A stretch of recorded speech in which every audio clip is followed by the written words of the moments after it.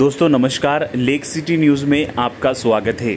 यह जो आप नज़ारे देख रहे हैं, यह राजस्थान के उदयपुर ज़िले के भूताला ग्राम पंचायत के सुथारों की बांगल का है, जहाँ पर बारिश के बाद ये स्थिति हमेशा बनी रहती है और कई वर्षों से बनती आ रही है।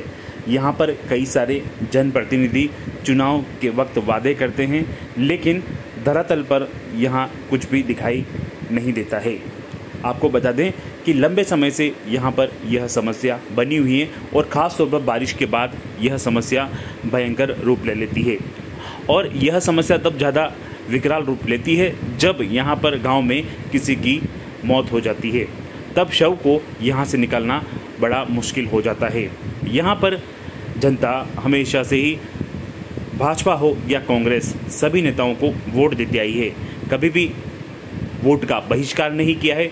जब जनता ने हमेशा वोट का बहिष्कार नहीं किया, नेताओं को वोट दिया तो क्यों नहीं नेताओं ने आज तक इस समस्या पर ध्यान दिया? लेक सिटी न्यूज़ प्रशासन से, नेताओं से, जनप्रतिनिधियों से यह मांग करता है कि ऐसी स्थितियाँ जब हम पिचोत्तरवा अमृत महोत्सव मना रहे हैं क्या आपको लगता है कि हमें अमृत महोत्सव मनाने की ज़रूरत है? बल्कि हमें अमृत महोत्सव को छोड़ करके सबसे पहले ऐसी परिस्थितियों, ऐसी समस्याओं पर ध्यान देना होगा, तब जाकर कहीं अमृत महोत्सव मनाया जाना चाहिए।